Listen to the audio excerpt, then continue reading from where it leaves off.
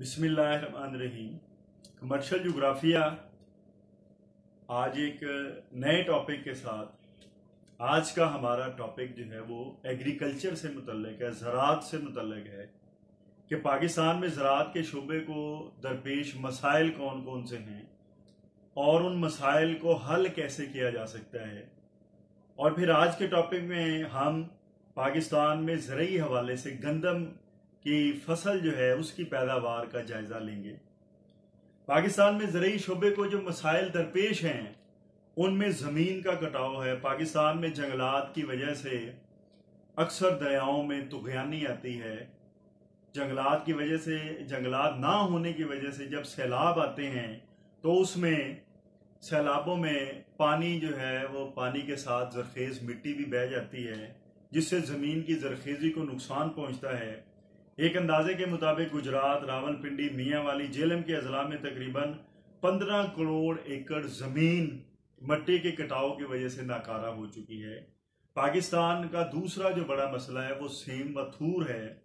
पाकिस्तान में पैदावार में नुमाया कमी जो है, वो सेम व थूर की वजह से होती है। ये ज़मीन की बीमारी है। इस बीमारी की वजह से पाकिस्तान में ज़रात के हवाले से मसाइल में इजाफा हो रहा है। पाकिस्तान में कई सदियों से मुतवातर काश की वजह से ज़मीन की जरखेजी कम हो रही है, जिसका नतीजा ये हुआ है कि हमारे मुल्क में फ़ी एकड़ पैदावार जो है उसमें कमी वाक़ हो रही है। पाकिस्तान के कई इलाकों में मानसून बारिशें गैर यकीनी हैं, जिसकी वजह से हमारे कई इलाकों का इसार बारिशों के ऊपर होता है। अगर बारिशें ना हों तो वहाँ पे किल्लत जो है वो पैदा हो जाती है। पाकिस्तान में कीड़े मकोड़े और टिड्डी दिल से भी ज़रात को काफ़ी नुकसान पहुँचा है। हर साल तकरीबन पंद्रह फ़ीसद फ़सल कीड़े मकोड़ों की बीमारी से ज़ाया हो जाती है। पाकिस्तान में सिर्फ़ पच्चीस इशारिया दो फ़ीसद रकबे पर काश्तकारी की जाती है, जबकि बाकी सारा हिस्सा जो है वो पानी ना होने की वजह से कम जरखेजी की वजह से, ज़मीन की जो बीमारियाँ हैं उस वजह से उसको ज़्यादा वो जरखेज नहीं है। पाकिस्तान में खेतों का रकबा कम है, पाकिस्तान में तरीक़ा काज जो है वो पुराना है। आज भी हमारे किसान पुराने तरीकों से खेतों में हल चलाते हैं और जदीद तरीक़ा काज से नावाकिफ हैं, जिसकी वजह से फ़ी एकड़ पैदावार में कमी जो है वो वाक़ हो रही है और तरक्की याफ्ता मुल्कों के मुकाबले में हमारी फ़ी एकड़ पैदावार काफ़ी कम है। पाकिस्तान में इस्तेदाद कार की कमी है पाकिस्तान का एक बड़ा ज़रूरी प्रॉब्लम ये भी है कि हमारे मुल्क में सरमाए की कमी है। हमारे किसान के पास बर वक्त खादें लेने के लिए, बर वक्त बीज लेने के लिए, पानी देने के लिए, ट्रैक्टर खरीदने के लिए ज़रूरी आलात खरीदने के लिए हमारे किसान के पास सरमाया नहीं है। पाकिस्तान में जो दरपेश मसाइल हैं, अगर इन मसाइल को हल कर दिया जाए तो पाकिस्तान भी ज़रूरी तौर पर एक तरक्की याफ्ता मुल्क बन सकता है।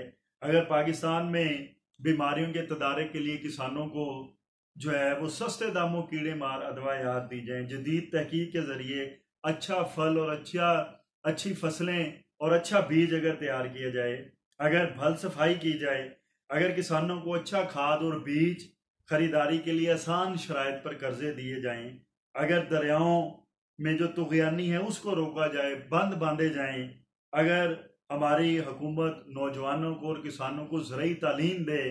अगर किसानों को अच्छा बीज और सस्ती कीमत प्रोवाइड की जाए और सेम और थूर को रोकने से ज़्यादा से ज़्यादा हकूमती सरपरस्ती में ट्यूबवेल लगाए जाएँ और मशीनों के इस्तेमाल के बगैर फ़ी एकड़ पैदावार में इजाफा मुमकिन नहीं है। मशीनों का इस्तेमाल आम किया जाए, पाकिस्तान में खाद की तैयारी जो है वो की जाए। अगर ये तमाम इकदाम हुकूमत करती है तो पाकिस्तान को ज़रिए तौर पर एक कामयाब मुल्क जो है वो बनाया जा सकता है। उसके बाद हम देखेंगे कि गंदम की काश के लिए मौजू तबई अवामिल कौन से हैं। ये वीट जो है, पाकिस्तान में कहाँ कहाँ पे इसकी पैदावार है? पाकिस्तान में सबसे अहम गजाई फ़सल गंदम है। गंदम के पौधे का कद दो से चार फुट तक होता है। पाकिस्तान के कुल रकबे के सैंतीस फ़ीसद रकबे के ऊपर गंदम काश की जाती है। पाकिस्तान में गंदम की जेर काश रकबा 83 परसेंट नहरी और 73 परसेंट बारानी है। पाकिस्तान में गंदम वाफर मकदार में पैदा होती है, जबकि गंदम का जो है वह भूसा जानवरों के लिए बतौर खुराक इस्तेमाल किया जाता है। पाकिस्तान में गंदम की फ़सल मौसम सरमा की फ़सल है। गंदम की दो अकसाम हैं, एक मौसम सरमा की बहार की गंदम है और एक मौसम बहार की गंदम है। गंदम की काश के लिए जो बेहतरीन मौजू हालात हैं, उसमें दर्जा हरारत है। गंदम की काश्त अक्टूबर तक दिसंबर में की जाती है। इसकी कटाई मौसम गर्मा के आगाज़ अप्रैल और मई में की जाती है। गंदम की काश के वक़्त इसका दर्जा हरारत 10 से लेकर 21 सेंटीग्रेड तक होना चाहिए। यानी गंदम की जो फ़सल है, वो मौसम सरमा के आगाज़ में काश की जाती है, जब ना तो ज़्यादा गर्मी होती है और ना ही इंतहाई सर्दी होती है। यानी दरमियानी सर्दी के मौसम में गंदम की फ़सल को काश किया जाता है दर्जा हरारत 10 से लेकर 21 सेंटीग्रेड तक होता है। जबकि जब इसकी कटाई होती है तो उस वक्त इसका दर्जा हरारत 40 सेंटीग्रेड तक होना चाहिए। उसके बाद बारिश है। गंदम की फ़सल को ज़्यादा बारिश की ज़रूरत नहीं होती। गंदम के पौधे की नशो नुमा के लिए गर्म मुल्कों में 20 से 30 इंच और सर्द ममालिक में 10 से 20 इंच तक बारिश की ज़रूरत होती है। गंदम की फ़सल को चार से पाँच दफ़ा पानी जो है वो दिया जाता है। पाकिस्तान के बाद इलाके ऐसे हैं जहाँ बारिश की मकदार बहुत कम है, वहाँ मसनू तरीके से आबपाशी की जाती है। इसके बाद मट्टी है। गंदम की मुनासिब पैदावार के लिए मट्टी जो है वो इंतहाई मौजू है, जिसमें चिकनी मिट्टी होनी चाहिए, रेत का तनासब उसमें अच्छा होना चाहिए। मट्टी में चूने की मकदार के साथ साथ वाफर मकदार में नामियाती मादों की भी ज़रूरत है। पाकिस्तान के मैदानी इलाकों की मिट्टी दरिया सिंध और उसके मावन दरियाओं की लाई हुई मिट्टी है। इसके अलावा काली मिट्टी भी गंदम की काश के लिए मुफीद है। फिर गंदम की काश के लिए जो माशी और गैर तबी मामले हैं, उनमें ज़मीन का इंतखब बेहतरीन होना चाहिए। गंदम की काश के लिए बेहतरीन ज़मीन जो है, उसका इंतखब ज़रूरी है। ताकि फ़सल जो है वो अच्छी हो सके, पैदावार अच्छी हो सके। गंदम की काश के लिए शरह बीज जो है वो उसकी मकदार कम नहीं होनी चाहिए। गंदम की फ़सल के लिए 60 किलोग्राम फ़ी एकड़ शरह बीज की ज़रूरत होती है। फिर जड़ी बूटियों की तलफी। गंदम की ज़्यादा पैदावार हासिल करने के लिए जड़ी बूटियों की तलफी बहुत ज़रूरी है। अगर बर वक्त जड़ी बूटियों को तलफ ना किया जाए तो पैदावार कम हासिल होती है। फिर आमतौर के ऊपर खाद और अद्वयात का इस्तेमाल भी किया जाता है। अच्छी फ़सल हासिल करने के लिए ज़रिए मशीनरी का इस्तेमाल किया जाता है। पैदावारी लागत को कम करने के लिए मशीनरी का इस्तेमाल बहुत ज़रूरी है। इसमें गंदम के सिट्टे से दाने अलग करने के लिए मशीनरी का इस्तेमाल किया जाता है। फ़सल की बर वक्त कटाई गंदम की बुवाई अक्टूबर और दिसंबर के महीने में होती है, जबकि इसकी कटाई मौसम गर्मा के आगाज़ में अप्रैल में की जाती है। पाकिस्तान में गंदम की काश के इलाकों में सूबा पंजाब जो है वो सर फहरिस्त है। यानी पाकिस्तान की कुल गंदम का अस्सी फ़ीसद पंजाब से हासिल होता है। पंजाब को गंदम का घर भी कहा जाता है। पंजाब में जंग, रहीम यार खान, फैसलाबाद, गुजरावाला, बहावलपुर, ओकाड़ा काबिल ज़िक्र हैं, जहाँ गंदम की पैदावार होती है। इनमें सरगोदा, जेलम बकर खानेवाल बिहाड़ी और मुल्तान वो इलाके हैं जहाँ गंदम कम पैदा होती है। फिर सुबह सिंध में खैरपुर नवाबशाह नौशहरा गोटकी सांगड़ा, मीरपुर, खास दादो और हैदराबाद गंदम की अहम पैदावारी इलाके हैं।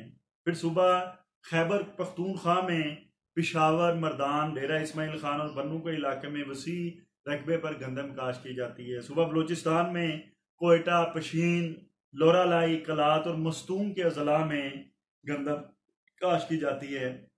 पाकिस्तान में अगरचा वसी रकबे पर गंदम काश की जाती है। लेकिन दुनिया के तरक्की याफ्ता ममालिक के मुकाबले में हमारी गंदम की फ़ी एकड़ पैदावार जो है, हमारी गंदम की फ़ी एकड़ पैदावार बहुत कम है, जिसकी कई एक वजूहत हैं।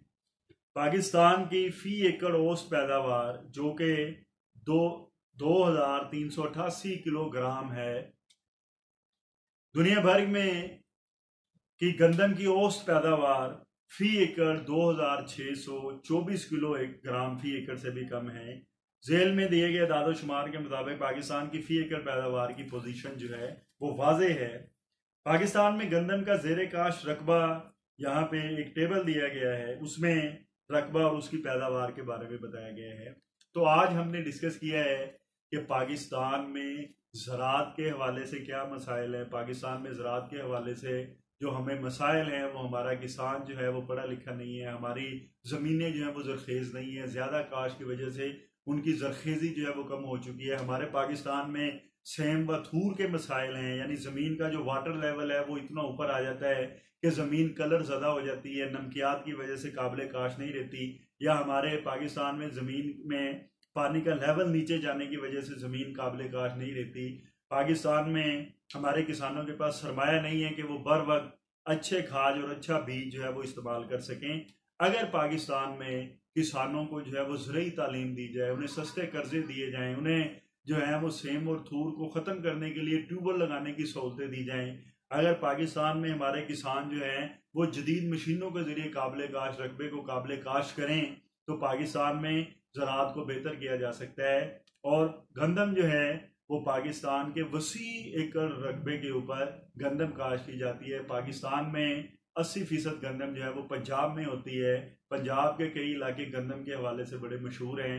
गंदम के लिए जो है वो मौजूद तबी हालात में हमने ये देखा कि गंदम के लिए ज़मीन जरखेज़ होनी चाहिए और मौसम जो है वो दुरुस्त मौसम में उसको कल्टीवेट करना चाहिए और उसके अलावा गंदम की फ़सल के लिए जो गंदम को ज़्यादा पानी की भी ज़रूरत नहीं होती और 40 सेंटीग्रेड जब टेम्परेचर होता है तो उस वक्त गंदम की फ़सल को जो है, वो काट लिया जाता है। ये था आज का हमारा टॉपिक